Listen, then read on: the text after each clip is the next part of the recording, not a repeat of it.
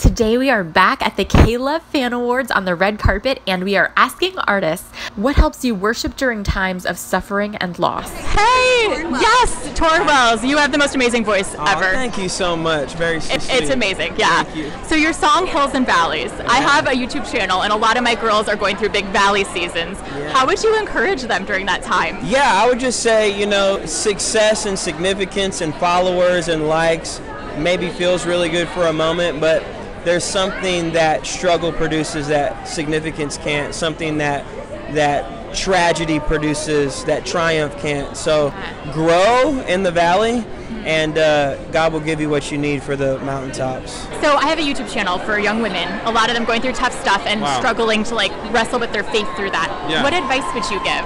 I don't know if it's advice as much as I would say um, just a reminder that uh, God understands and uh, suffering. If everybody is very is a difficult thing. Um, you know, we all have things that we've gone through, and um, you know, usually it's our wounds and our suffering that we share in common more than anything else. And Jesus came and died the way he did so that he you could meet him in the midst of it and Yeah. Not on the not on the periphery of it but right in the heart of it I love so, that. yeah So I have a YouTube channel for girls, and I know they struggle a lot with feeling weary and alone, and you talk about that in a lot of your songs. What would you say to young women feeling that way?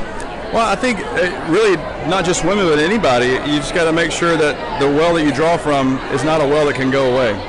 So you draw from Jesus, and He fills you. And then when you get to relationships, you're full and you're ready to give to other people. But if we go to people and what people think of us to get our fill, it's not going to work. It's going to leave us dry. So uh, I say stay with the truth of God's word and let God tell you who you are.